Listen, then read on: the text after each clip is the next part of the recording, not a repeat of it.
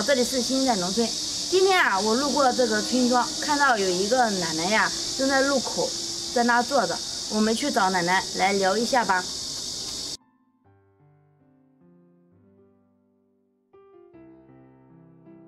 奶奶，你今你你老人今年多大岁数？八十二岁，八十二岁了。一九三八年生人。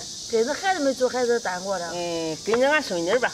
跟孙女。孩子们都在我这干事儿。哦，孙女在家的。嗯，跟着俺儿子的小，要要将将到齐。行吧，过得还行。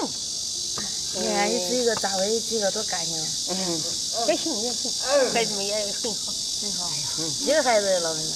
嗯，要说几个孩子吧，俺结婚以后没生孩子，俺对象的孩子，俺在外边结的婚。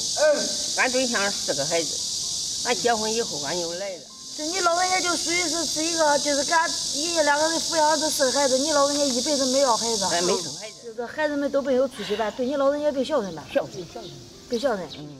你看现在，你老人家把这四个孩子也养大成人了，该出嫁的也出嫁了，该生子的也生子了，证明了你老人家根儿家没有一个属于自己个的孩子，心里也得后悔嘛。那怎么不后悔的？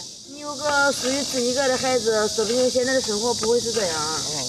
是吧？人说了，血缘的没没有联系，没有连在。哎呀，这就是两样。嗯嗯，就这些孩子都是他拉拔的，都是你老人家拉拔大的。挣挣工分也也不容易。他们都在家里做孩子，都在家里，都在家里。嗯嗯，小三不在家。哎，小三二也不在家，都在外。行，孩子们只要孝顺，也没白也没白浪费你老人家这把他们养大的这个心，是吧？嗯。刚才经过和奶奶聊天，奶奶告诉我们。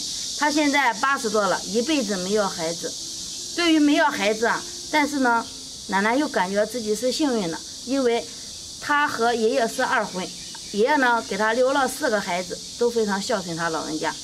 老人家现在过得也非常的幸福，孩子们也非常讲良心，也非常孝顺他。